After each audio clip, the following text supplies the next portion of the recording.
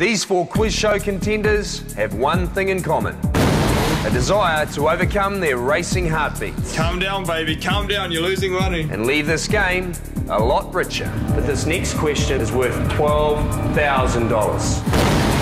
Hi, I'm Matthew Ridge, and tonight I've got $50,000 to give away to someone who can survive the ultimate test of self control.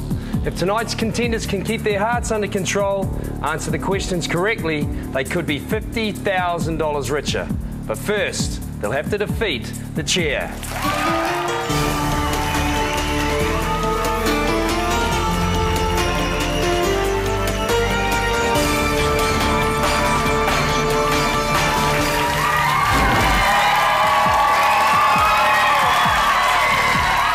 Play this game, you have to be smart, tough, and most of all, in control, which counts you lot out.